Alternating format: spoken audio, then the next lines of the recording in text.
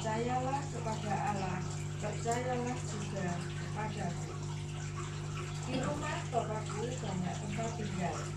Jika tidak demikian, tentu aku sudah mengatakannya kepadamu. Sebab aku pergi ke sana untuk menyediakan tempat bagimu. Dan apabila aku telah pergi ke sana dan telah menyediakan tempat bagimu, aku akan datang kembali dan membawa kamu ke tempatku, supaya di tempat aku berada, kamu pun berada, dan ke mana aku pergi, kamu tahu jalan ke sana. Kata Thomas kepadanya, Tuhan, kami tidak tahu ke mana engkau pergi, jadi bagaimana kami tahu jalan ke sana? Kata Yesus kepadanya, Akulah jalan kebenaran dan hidup.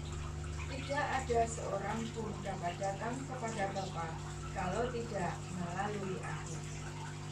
Sekiranya kamu mengenal aku, pasti kamu juga mengenal Bapakku. Sekarang ini kamu mengenal dia dan kamu telah melihat dia. Kata Filipus kepadanya, Tuhan, tunjukkanlah Bapak itu kepada kami. Itu sudah cukup bagi kami.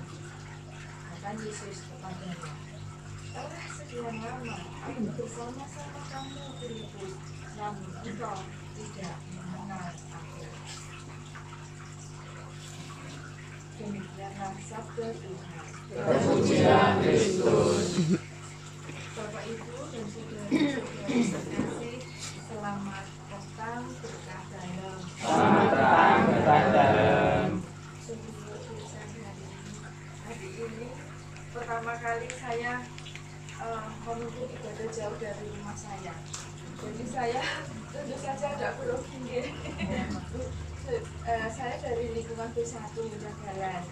Pasti ibu sudah melihat saya walaupun tidak melihat saya. Kemarin eh, di apa di beritahu Mbak Maria tolong ibu ya Bang. sebenarnya saya juga suka ragu manusiawi ya. Saya seangka endo. Tapi ternyata berkat Tuhan saya teringat sama ibu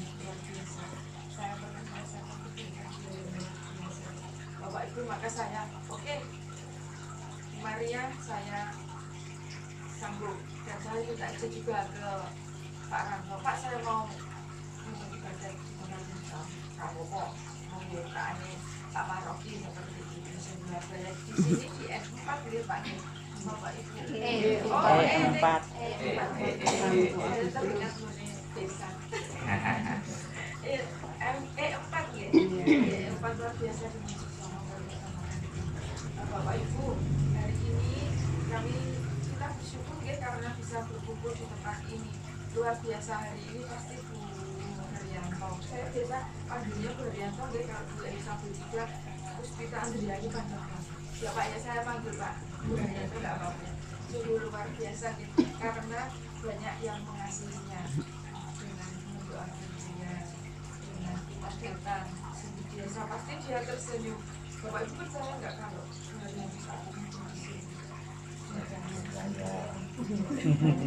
sini Bapak Ibu saudara-saudari terkasih hidup mati kita ini milik Tuhan dan kita diberi hidup tapi kita tidak bisa menguasai hidup kita sepanjang apa pun usia kita. Kita mau usia panjang kita ulang tahun doakan panjang umurnya panjang umurnya ya sepanjang apa tetap akhirnya nanti kita akan mati. Karena kita hidupnya ada di tangan kita tidak tahu dengan cara apa kapan itu misteri Tuhan Allah kita.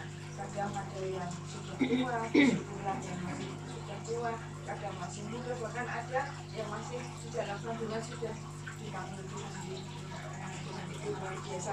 Maka eh, hari ini kita eh, apa dari kitab suci kan jangan sampai kita eh, eh, tidak bersatu dengan dengan Yesus me- saya akan pergi setelah ada tempat kita panggil berarti nek rumah kita sudah ada kita pasti dipanggil. Bangun luar biasa. Maka kadang-kadang eh, apa yang harus kita lakukan ya kita harus bersiap ya siap siaga Eh, siap siaga karena suatu hari kita pasti akan pergi sejauh apa pun dan sedekat apa pun relasi kita dengan sesama kita. Yang paling dekat dengan suami itu pasti nanti kita juga akan maka dari itu marilah kita juga berjaga-jaga agar sewaktu-waktu Tuhan memanggil kita kita juga siap. Dan juga dalam Injil hari ini dikatakan dengan gelisah hatimu percayalah kepada Allah percayalah juga kepadaku. Di rumah bapakku banyak tempat tinggal. Luar biasa ya hari ini tentu hari ketujuh Bapak Haryanto dan keluarga masih sangat berduka. Kehilangan Haryanto ini. Tapi tidak perlu khawatir kita percaya bahwa Haryanto akan bersama Tuhan mungkin juga pasti dia ada di hari ketujuh dulu tapi bebas hubungan doa kita kasih sayang kita. Pasti suatu saat nanti Haryanto akan bersama Bapak di surga dan kena akan menjadi pendoa bagi kita Bapak Ibu eh, untuk itu kita hanya bisa bersiap-siap bersiap-siap semua eh, apa namanya agar kita tidak tersesat ya supaya kita nanti bisa bersama-sama dengan Eh, Bapak Ibu sama saya sebutkan eh, boleh eh, kemarin kan tiap hari saya mengantar eh, cucu saya karena sekarang sudah punya cucu sudah tua itu ada teman cucu saya mamahnya dia bercerita punya teman yang diberi karunia untuk bisa melihat dunia lain itu dia diparangi seseorang yang rupanya buruk banget. Eh, dia minta tolong. Nah, terus ditanya kenapa kamu kok bisa sampai seperti itu? Ternyata dia eh, belum bisa memaafkan. Belum bisa memaafkan seseorang yang begitu menyakitinya sampai dia meninggal. Kemudian eh, teman itu bilang kamu beritahu kamu harus bisa memaafkan kita berdoa bersama-sama bersama-sama akhirnya apa dari sekian sekian sekian hari terus eh, rupa gadis itu. Dia masih gadis gadis itu eh, rupanya cukup cantik. Terus dia bilang sama saya mau tahu karena ibu saya sudah mengalami saya. Bapak ibu di sini saya hikmahnya apa? Kalau kita bisa mengampuni setelah meninggal maka kita pun eh, bisa bersama dengan Tuhan kan di dalam kitab suci itu ya kalau kita masih mempunyai beban kalau kita eh, misalkan punya salah belum meminta maaf atau kemudian ada orang yang salah belum memaafkan kita maka kita akan kesulitan di alam sana dan saya mengambil ibunya kalau eh, yang meninggal itu misalkan punya salah kepada kita kita doakan seperti ini kan bisa. Kita bisa memaafkan dia sudah lah kita memaafkan maafkan keluarga dan lain-lain memintakan maaf tapi kalau kita sendiri belum bisa memaafkan kita luka itu sampai mati. Kan kita juga terhalang juga kan untuk eh, di apa namanya untuk mengikuti Tuhan. Nah di sini saya eh, akan mengambil ternyata benar ya Tuhan itu ya kalau kita belum mengampuni eh, eh, sulit juga kita di sananya maka Bapak Ibu eh, marilah kita saling mengasihi saling mengampuni agar kita juga mendapat jalan ya untuk nanti jika saatnya nanti kita sudah dengan ikhlas lah karena kematian itu Bapak Ibu kita juga berdoa di sini mendoakan di Elizabeth Ida Yustina Andriani supaya ia dapat bersatu dengan ayat Bapa di surga diperkenankan untuk masuk di dalam kerajaannya di yang dengan para kudus dan kelak juga menjadi pendoa kita dan semoga keluarga yang ditinggalkan tetap semangat dalam menjalani persiarannya melanjutkan juga tugas dan kewajibannya. Bapak Ibu eh, sungguh sungguh ya hari ini saya juga bahagia karena bisa datang di sini bertemu dengan bapak-bapak. Semoga apa namanya Injil hari ini sungguh menguatkan semakin percaya kepada Tuhan dan juga mengasihi sesama. kepada Seperti pada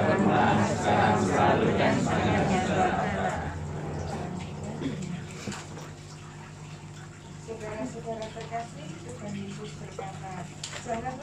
hatimu, percayalah kepada Allah, percayalah juga.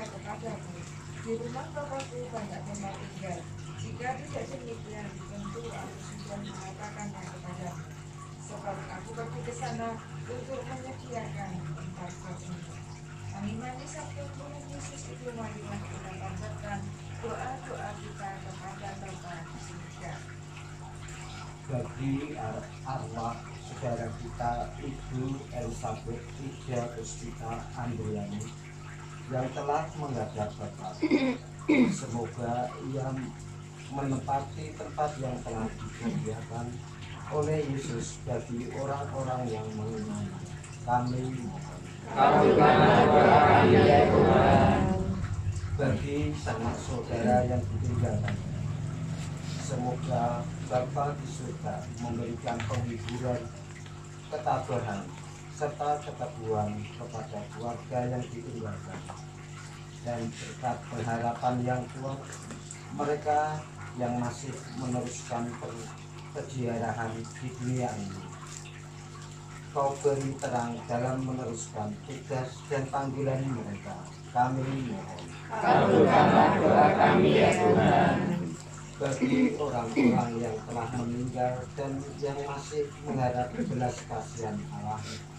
Semoga berkat belas kasihan dan kerahiman Allah, ia memberikan pengampunan kepada mereka semua, sehingga mereka boleh beristirahat dalam kebahagiaan abadi bersama Bapa di surga. Kami mohon kami ya Tuhan. bagi kami yang hadir dalam peringatan ini semoga kami telah mendengar kami dan merenungkan sabda Tuhan mampu mengimani janji Yesus Kristus yang terwujud dalam perjuangan hidup dan karya kami sehari-hari kami mohon kami ya Tuhan. Semoga memberikan keselamatan, kekuatan, Bapak semakin rukun, bahagia dan sejahtera. Kami juga mohon berkat rumah ini. Semoga di dalam rumah ini pun senantiasa ada damai sejahtera bagi siapa pun yang tinggal ataupun singgah di rumah ini. Dan bagi kami yang hadir di sini, Bapak, berikan pula pada kami kesehatan, keselamatan, yang. Kami mohon. Kami.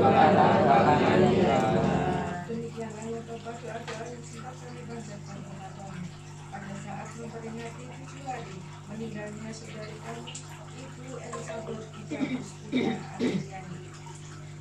Kami serahkan